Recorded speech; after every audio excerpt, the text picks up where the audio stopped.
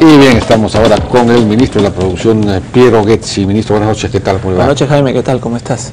¿Y fue penal o no fue penal? No fue penal. ¿No El- fue penal? ¿El de el día, el de brasileño? Sí. Me parece que no fue penal, por lo que he escuchado, pero no. Ah, ¿no has visto el partido? He estado trabajando, todavía hay cosas que hacer.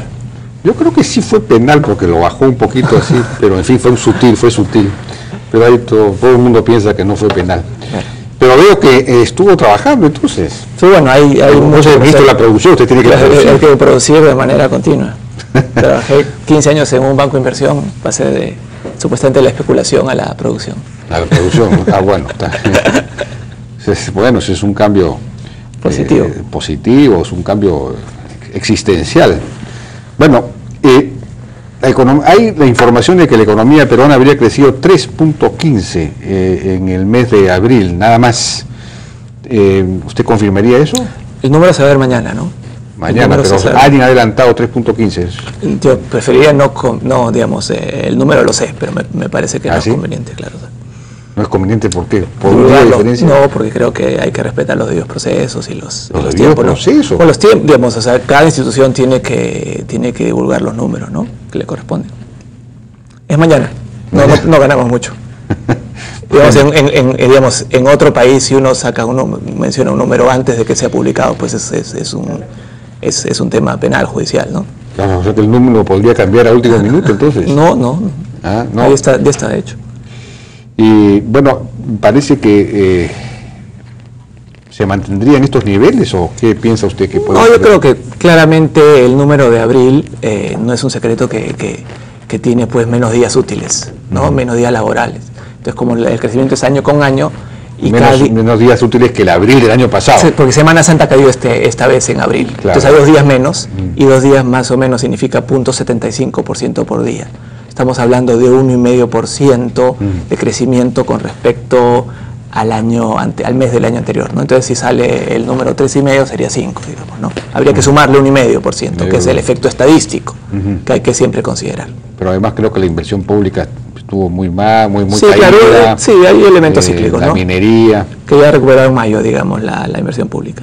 Eh, bueno, eh, rápidamente el tema de la pesca, porque se han pescado 900 mil toneladas de anchoveta nada más este año, en los 50 días de temporada claro. de pesca, menos de la mitad de lo que se pescó en el mismo, mismo periodo Sí. del año pasado, porque la anchoveta en parte se ha hundido y en parte se ha acercado más a la costa, digamos, está- se ha metido dentro de las 10 millas y como no pueden pescar por el famoso 005 Sí. eh, dentro de las 10 millas, eh, eh, están eh, al borde El de la IMARPE ya, ya- el IMARPE, primero mañana tengo una reunión con la doctora Conterno, segundo el IMARPE ya, ya mencionó que en el, en la- en el- en el crucero que hizo encontró pues que había como 86% juveniles dentro de las 5 millas, entre 5 y 10, Mm. en cuyo caso pescar sería muy complicado.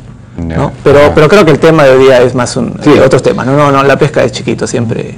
Bueno, se han anunciado medidas en el campo tributario, laboral, ambiental y de reducción de trámites. Quizá vayamos rápidamente Claro. punto por punto para, para tratar de entender bien. En el campo tributario se ha anunciado una eh, reducción de más de 20 mil millones de, de soles eh, para 180 mil contribuyentes, una reducción de sus deudas. Claro, deudas que se dieron entre el 98 y el 2005 eh, y que no se están pagando. Entonces está Deudas incobrables, Deudas incobrables, son incobrables básicamente, que se están capitalizando a una tasa de interés altísima. y La- que- la bola de nieve, Claro, la bola de nieve, pues es imposible cobrar. ¿no? Entonces, están se- matando la están bola de nieve. Están, matando Están desinflando la bola de Desinflando nieve. la bola de nieve para, digamos, eh, tener un alivio. ¿no? Para que puedan pagar. Son 180 mil, para que, digamos, la, eh, la mora, la deuda sí se, sí se mantiene, ¿no? la mora es la que se desinfla, ¿no? Claro, exactamente. Entonces, lo que Entonces, 180 mil contribuyentes que serían beneficiados. Medida. para volver deuda incobrable, volverla cobrable. Cobrable, digamos. exactamente, ¿no? Eh. Que tiene mucho sentido, ¿no? Bueno, sí, no será visto esto como una suerte de amnistía. Bueno, lo que pasa es que ah, tal vez ha sido excesivo la- el crecimiento por, por- por tema de mora, ¿no? Sí, yo, creo, claro. yo creo que es importante eh, entender que este paquete es un paquete pues eh, conjunto eh, que busca cada medida individual por sí sola no es eh, Claro. no va a lograr el y, y por eso me parece que es importante ver el tema macro primero, ¿no? Este es un creo que es importante entender que este paquete se está lanzando como una forma de revertir la percepción o las expectativas eh, del sector privado en general que ha habido pues una, un deterioro consistente en, la, en temas de tramitología, regulación inadecuada, etcétera. Es importante aceptar cuando ha habido ciertos eh, errores. ¿No? Y ahí estamos revertiendo, o encontrar y ir mejorando las políticas, porque creo que hay un, hay un momento en el cual uno mismo va viendo cómo las políticas se van mejorando y se van ajustando a las realidades. ¿no?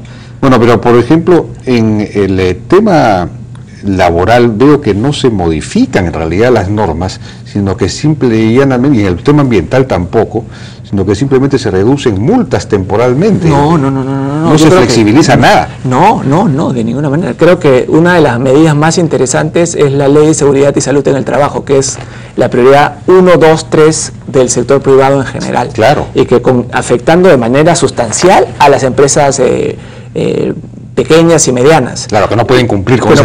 son, incumplibles. Son, incumplibles. pero, no a ser modificadas. No, claro que sí. Está, bueno, estamos mandando un proyecto de ley al Congreso. Ah, pero eso no ha sido detallado. Lo que uno se ha dicho es que se bajarían las multas durante tres años. No, esto es parte, digamos, hay, hay, no confundamos la ley de seguridad y salud en el trabajo con el trabajo de la SUNAFIL. La SUNAFIL es el ente regulador que regula el cumplimiento de, la, de, la, de las políticas, digamos, ¿no?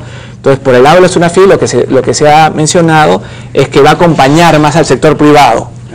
En el sentido que no va a cobrar las multas inmediatamente, sino va, va a ser más un socio, en el sentido de va a decir, bueno, acá estás incumpliendo, mm. tienes un tiempo para cumplirlo, se está limitando el porcentaje de las, de las sanciones. Eso es por el lado de la SUNAFIL. Por el lado de la ley de seguridad en el trabajo, yo, quiero precisar algo que es muy importante. Digamos, eh, es muy importante proteger a nuestros trabajadores, es, es fundamental pero no siempre los instrumentos que se utilizan para el objetivo grande de proteger a nuestros trabajadores eh, se, se, logra. Y en este caso, la ley tenía pues muchos excesos. Por ejemplo, eh, un exceso de exámenes. Se tomaba un examen a la salida a la entrada de, trabajo y, a la mitad, dependiendo, en cualquier momento, que dependiendo del médico ocupacional. Ahora, eso ignora el hecho que muchos, o la gran mayoría de trabajadores tienen contratos por tres o seis meses. En cuyo caso, si uno fuera a cumplir la ley, tendría que tener siete exámenes, ocho exámenes en un año.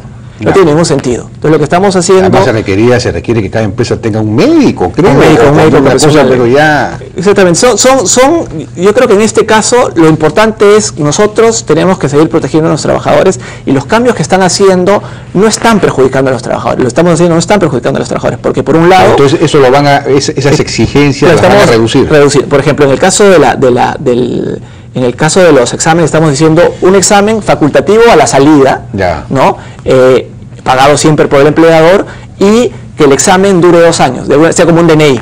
Digamos que uno pueda decir, ok, tengo este examen y me dura dos años. De esa manera, pues se reduce mucho. Otra cosa muy importante, el, uno de los grandes beneficiados de este tipo de exámenes obviamente eran los laboratorios que hacen los exámenes. Entonces lo que estamos diciendo es salud va a tener un tarifario ¿no? de referencial, entonces se puede hacer los exámenes en salud y naturalmente las empresas pueden mandar a los, trabajadores de salud o en todo caso, un, si, bueno, si, si, el laboratorio es 10% más caro que salud, posiblemente la empresa lo puede mandar a un laboratorio, pero unos 50, 70%. Una empresa pequeña, de alguna manera, pues eh, no tenía cómo protegerse ante esta, este tipo de regulaciones. no, no, podía, no podía afrontarlas. entonces, de alguna manera, muchas veces lo que ocurre es que los objetivos son muy importantes, pero no se ve el objetivo, más bien lo que se hace es se fomenta el enanismo, se fomenta la informalidad eh, y, la, poca productividad. Entonces, de alguna manera no se logran ninguno de los objetivos, se, trabaja los, se no los trabajadores que se quiere proteger. El, enanismo no se está tocando porque, eh, digamos, una de las normas que fomentan el enanismo es el hecho de tener eh, una ley de trabajo especial para los micros, otra para los pequeños y una distinta para los medianos y grandes. Entonces, para los medianos y grandes funciona la famosa Ley General de Trabajo, que también tiene unos costos tan fuertes, digamos, la formalidad es tan cara y tan rígidos que solamente las grandes empresas con grandes capitales pueden afrontar eso. Ese tema no, no, no, todavía no, pues no, digamos, yo creo que acá es importante entender que estamos tocando tema, no, no, digamos, este es un paquete grande, pero no es comprensivo. Como mencionamos en el, en el, en el Plan Nacional de Diversificación Productiva, si recuerdas, el eje 2 es reducción de sobrecostos y regulaciones. Este es un paquete importante para retirar la inversión, pero esto va a ser un trabajo conjunto y continuo, con, con, liderado por el presidente, por el ministro, el primer ministro, y en trabajo claramente con otros sectores como, como el MEF, que también está trabajando de manera conjunta. Entonces, creo que esto es, lo que, lo que digo es que la ley actual esta ley de seguridad y salud en el trabajo es mucho más onerosa para las empresas pequeñas. Una empresa Claro, de 500, claro. una empresa de 500 eh, personas, esta ley pues le molesta, pero no le hace la diferencia.